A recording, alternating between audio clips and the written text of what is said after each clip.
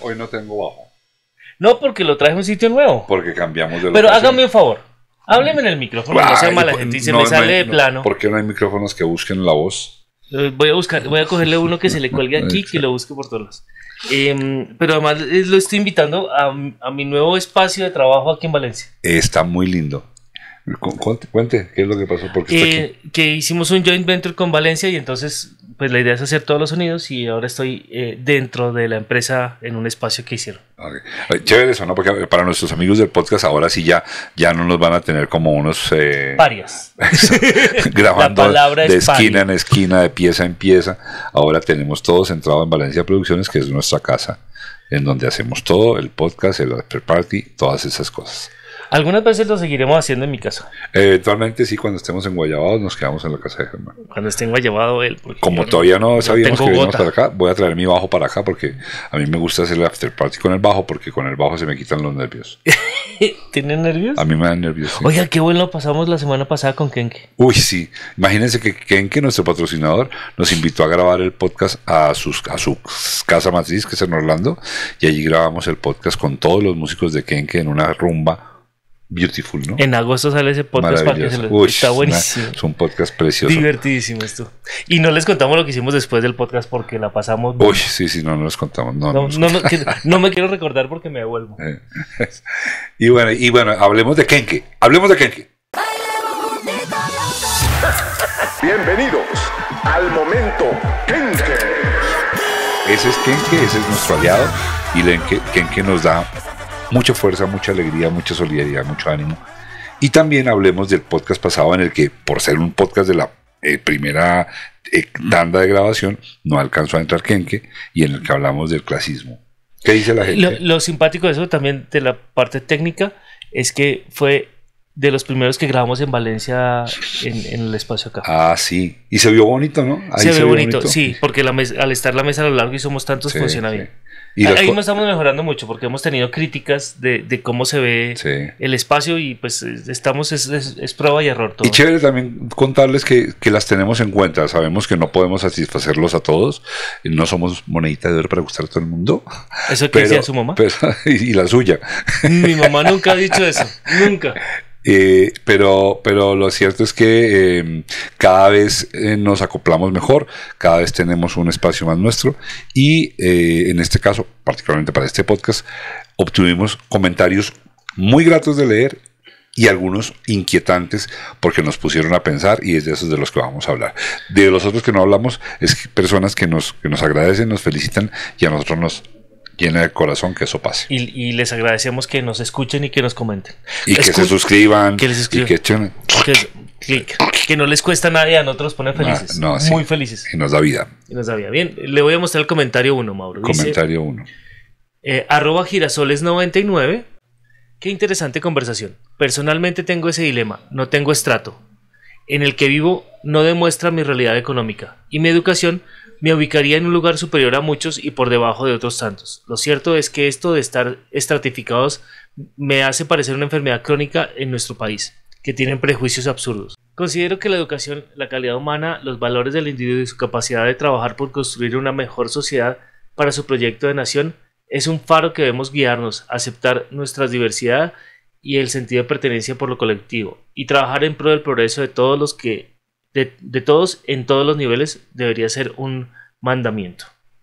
Eso dice Girasoles 99. pues, Girasoles 99. Por si lo quieren leer, eh, está en la caja de comentarios de YouTube. Eh, y dice, dice, arranca diciendo que, que, que- que eso del estrato no le coincide como con su vida. ¿Usted sabe qué estrato es, Germán? ¿Usted qué estrato es? Según, según donde vivo, cuatro. Según donde vivo. No sé. ¿Y usted cómo se siente estrato qué? Eh, de- en mi corazón soy estratosfera. Ok. no, mentiras. Lo que pasa es que si el estrato es solo dinero, pues no, no, no. Soy tres por ahí. Pues, o sea, eh, lucho mucho por mantener eh, mi estatus de vida. Yo encuentro que eso que se inventaron de la estratificación hace no sé cuántos años, es más, me atrevo a pensar que fue Andrés Pastrana Y si no fue Andrés Pastrana, no importa, echémosle la culpa porque ha hecho tantas cosas malas Que no sería una, una más no le quitan y le pone a Andrés No sé- Pastrana. no sería Entonces, raro. pero cuando se inventaron eso, que supuestamente era para compensar las tarifas de servicios públicos y que los que tienen más capacidad paguen más para compensar a los que tienen menos capacidad en una medida que suena aparentemente solidaria, eso se, se terminó pervirtiendo y resulta que hoy en Colombia la gente cree, y me pasa a mí, que hay personas que me cuentan, oiga, ¿usted sabía que en Europa no hay estratos? Claro que no hay estratos. No existe. Pues claro que no. Es que los estratos son una perversión colombiana. Claro. Eso de que digamos que hay una persona estrato 6 o una persona estrato 4, eso es una perversión solamente comparable con el esclavismo. Los estratos no deberían existir. Además, además eh, hasta en eso hacemos trampa, los colombianos. Porque he visto gente con casas espectaculares que serían estrato 6, lo que se llamaría estrato 6, pero eh, logran o, o son consideradas casas de, de- de patrimonio nacional, entonces ahí mismo se vuelven Logran bajar cero, el estrato. tra- estrato En el recibo de la luz, pero en, la, en el salón social son Ah, no, 99. son, 90 son, son estratosfera 6. Sí, y, y, y, y ac- y aclarando una cosa, que acabar con el problema de estratificación no acaba con el clasismo. El clasismo fue antes de la estratificación. O sea, la estratificación es solo un síntoma. El clasismo está aquí en la leche, en el tetero, en el televisor, en el pañal, en el agua, en el oxígeno. En todo está el clasismo en Colombia, ¿no? Entonces, lo que dice esta persona, eh, desarrollándolo, es, es, es- es que cuando tú estás pagando un arriendo y te dicen que eres estrato 4, ¿qué significa que eres estrato 4? ¿De qué debes hablar? ¿Cómo te debes vestir? ¿Eres superior a quién e inferior a quién? Porque si eres 4, entonces eres superior a los 3 y eres inferior a los 5, luego hay que subir. Si se dan cuenta lo perverso que es el concepto de estratificación? Y nos comimos el cuento y creemos que hay personas estrato 6 o estrato 1 porque creemos que a la persona la, la define la categoría del recibo de la luz. Pésimo. Pésima idea. Esta persona tiene toda la razón. Toda la razón. Sí, porque, como, como le decía ahorita, en, en términos de plata no soy un estrato alto, pero en términos de, de, de lo que logro hacer en la vida, pues logro, logro vivir parecido a como viviría una persona estrato 6, pero no, pero es por, por, Por ventajas. Pero además lo, lo peor es que llamamos estrato 6 a una persona que tiene lo mínimo para vivir, que eso es otro problemita que tenemos, Sí. porque es que que resulta puede que estudiar, que puede viajar, que puede trabajar. por cuenta de una cantidad de cosas, resulta que aquel que tenga un carro y no tenga las llantas pinchadas y se haya bañado esa mañana, se lee como estrato 6. Es más, nuestro presidente habla de, eh, ¿cómo es? Arribistas, eh, clase media, esclavistas, a todos aquellos que podemos salir por la mañana en un carro particular y nos hemos bañado con agua caliente. El presidente nos está esti- estigmatizando precisamente porque el presidente también cree en los estratos. El problema es que se crean los estratos. O sea, lo mínimo que tiene una persona de estrato 6, claro, hay los que tienen avión, pero eso- esos son los menos. Pero tener una, Cosas una- normales, una casa, agua caliente, un carrito que lo lleve y lo traiga y no lo deje botado, ropita limpia, eso ya nos hace ricos. Claro, claro. Cosas normales, como diría Sarmiento Angulo. Un- Sí, cosas una normales, isla, una isla. Cosas Bueno. normales. Siguiente comentario. Hágale. Arroba eh, Kiers- Kiersten8129. Me impresionó el análisis de Mauricio. Lo veía solo como un escritor de telenovelas y ya. Él y María Elvira nos dieron un gran debate entre el pesimismo ilustrado y el positivismo moderado. Sin duda que queda en deuda, que queda en deuda la segunda parte. Porque el tema trata prácticamente la raíz de nuestra violencia y no y nos Y no desa- desarrollo, no solo nacional, sino lat- no solo nacional, sino latinoamericana. Y le Sí. contestó arroba Pablo Valero 7171, qué colosal ignorancia en la que viví. Qué interesante. Mira, miren que, que, Ger, hay una cosa interesante y es que hablar de clasismo no es usual en Colombia, un país impregnado por el clasismo, un país gobernado por el clasismo, y es muy raro que los colombianos hablemos de clasismo. Esa es la razón principal por la cual a mí me enganchó tanto Fox News antes de que tuviéramos podcast. Yo ya hablaba de ellos en mi columna de Diario Criterio que acabo de retomar hace ocho días. Yo los mencioné cuando todavía nadie hablaba de Aprovechen ellos. para leerlo. Sí, aprovechen. Y aprove- aproveché para hablar de que estos dos de- de- de- desencarnaban el clasismo, igual que hace Juan Piz González, por eso los invitamos. Y me llama mucho la atención que resulte tan, tan singular hablar de clasismo en un país que está gobernado por el clasismo. Agradezco mucho el comentario. Yo sí creo que tenemos que hablar de clasismo, tenemos que poner el tema. ¿no, no le parece que también hay clasismo en inversa? ¿Hay Que hay clasismo? gente que, que, que la catalogan, o sea, personas que, perdón, por decir, de, de estratos bajos, que catalona- catalogan como malos a personas de estrato alto solo por estar de estrato alto. El, cáncer es, es en, Es las de do- para arriba en para la- en las dos vías. eh, no, no- nos consideramos mejores o peores personas de acuerdo a la cantidad de dinero que tengamos en el bolsillo. Para los pobres, los ricos son los malos, y para los ricos, los malos son los pobres. Y todo se divide por lo, cuanto hay- por lo que hay en la billetera. Eh, así vivimos. Qué triste. Qué triste, Y no debería grave. ser por la billetera. Y grave, y grave.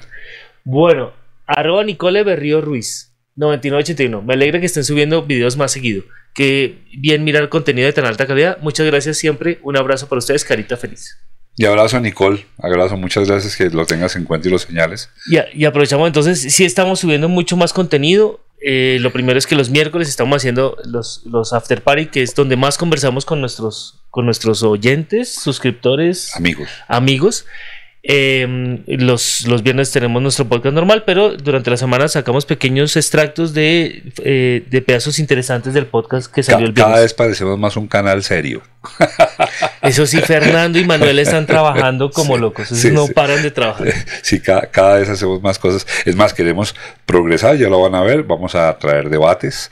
Eso es una, eso es una renglón de- del futuro proyecto. Pero sí, muchas gracias por tenerlo en cuenta. Síganos, síganos, denle like. eh, porque Y, además y estos- coméntenos porque nosotros ponemos atención a lo que dicen para tratar de mejorar, por favor. Así es. Sí. Y aquí este que dice desde Alemania. Arroba Jorge Arevalo 5617. Felicitaciones desde Alemania. Colombia, Colombia.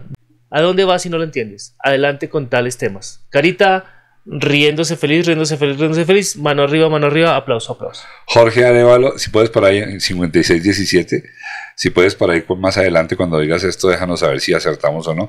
Yo creo que estabas pensando en Cobáis cuando escribiste Colombia, ¿dónde vas? ¿no? Cobáis, una, obra eh, famosísima, bíblica. eh, ahora se me olvida el, el- el- autor, es como un húngaro, un checo, es un apellido de esos que tiene muchas consonantes. Y, te pregunta Cobáis, ¿qué significa? ¿A dónde vas? Colombia, ¿a dónde vas? Yo no voy a decir para dónde va Colombia, pero creo que, que tenemos que mirar bien que el rumbo no está bueno, bajo ninguna circunstancia. Y no tiene que ver, antes de que nos pongamos arrozudos, ni con la derecha ni con la izquierda. No, los colombianos, que somos los que realmente conducimos el país, estamos perdidos de rumbo. Esa es mi opinión. Entonces, me sumo a tu pregunta, ¿Cubáis dónde vas? Bien. Y el último mensaje de hoy. Arroba Francisco Javier Herrera Sanc. Debe ser 9354, debe ser Sánchez, 9354. A este programa le faltó un portero o un albañil, pero el clasismo no les permitió invitarlos. Buen programa, pero el tema daba para más. Ah, Francisco. Le contestó arroba Kenneth Talante Victoria 1186, dice coincido con usted, y Ajá. arroba Giorgio Nacelix, eh, un Levi Rincón, por ejemplo. Contesta eso. Eh, bien. Hubiera sido chévere tener el Levi Rincón en esto. Habría sido estupendo tenerlo en el rincón. Ah, también habría sido ins- y- y muy bueno traer, como dices, a un plomero, seguramente una persona que trabaje en servicio doméstico, eso es verdad. Ah, mm, no creo que, que estemos muy eh, cargados hacia el otro lado si tienes en cuenta, por ejemplo, que allí estaban personas como Ramiro Meneses, eh, o también te voy a hablar de mí, que como lo confesé en el podcast, nací en un barrio del sur de Bogotá. Eh, si no soy plomero, Ramiro Meneses no es plomero. Eh, pero además creo que una... Pero habrían podido ser, podido serlo. Sí, y además vamos a ser realistas. O sea, yo no iba a traer a alguien que se sintiera en inferioridad de condiciones y no abriera la boca. Eso lo tenía claro. Y, y en cuanto a Levi, eh, que con quien tuvimos una estupenda conversación, yo tampoco quería una guerra. A mí no me interesaba generar una guerra de clases en el podcast en donde hubiera muchos desfavorecidos implicando a los favorecidos o muchos favorecidos. Esa no era la idea. La, la idea era conversar y seguramente tendremos que hacer unos muchos más debates sobre esto y cada vez trayendo personas más representativas de otros sectores, pero también es cierto que yo quiero que haya personas que no se vayan a sentir intimidadas la una con la otra y ese es un reparto que hay que hacer con mucha delicadeza. Y además nos gusta mucho que la persona que esté con nosotros se sienta cómodo para poder hablar con tranquilidad. Y el hecho de que además de eso hayamos tenido conversaciones con un sinnúmero de personas, no voy a decir nombres ahora, ustedes juzgarán, eh, indica que... Ay, cuando usted dice nombres, yo aprovecho y pongo el, el loguito de la persona. Está Entonces diga, no diga, diga, no diga. diga, entonces Levi, diga Julián Román, Ah, sí. diga, eh, bueno, mi hermano Germán, Su hermano Germán. Isa- Isabela Santiago. Isabela Santiago. Entonces, en fin, no importa, síganlo pensando, síganlo diciendo, solo que nosotros también necesitamos decir lo que estamos pensando. Y dicho esto, se nos acabaron los comentarios, ¿no, Ger? Sí, Este viernes que tenemos, este viernes tenemos a una persona muy simpática, muy especial y además al libro Spooky, que es Sebastián Camelo de, del podcast eh, serialmente. Véanlo, Sebastián Camelo. Y en, en Instagram lo pueden seguir por en El Arracadas. Eh, y, Él, raya abajo, raya abajo, arracadas. Exactamente. eso. y, y, eh, conductor, creador y todo del podcast serialmente. Además, escritor, tiene ya tres libros. Escritorcísimo, que es lo que más es él. Él lo, él- él lo que más quiere es vender sus libros a, a punta de contarnos podcasts. Y este hombre ha- ha estudiado profundamente a los asesinos en serie. A los asesinos en serie hay que estudiarlos. En Colombia no los estudian. En Colombia los hacen famosos, los hacen estrellas de cine. Y lo respetan. y los respetan, no los estudian. Hay que para saber qué causa eso y evitar que se repita en el futuro. Y este hombre se dedica a encontrar cuáles son los factores comunes, claro, desde un punto de vista más artístico que, que forense, pero va a ser un podcastazo porque qué tipo para conversar bueno. Simpatiquísimo, además. Sí, Simpatiquísimo la persona. Bien, eso era. ¿Nos Entonces- vamos a grabar Sí, nuestro entonces, podcast de ahorita? no, hoy- ahorita vamos a grabar podcast porque es lunes, pero vamos a aprovechar. Y vamos a grabar un podcast político. No le vamos a decir a nadie. Después nos metemos en política fuerte, pero síganos, denle like, compártanos, com- com- compartan nu- nuestro podcast, coméntenlo y háganos crecer esta comunidad porque Cero No Seré y el podcast es la voz de los que son. Nos vemos la próxima. Chao. Chao.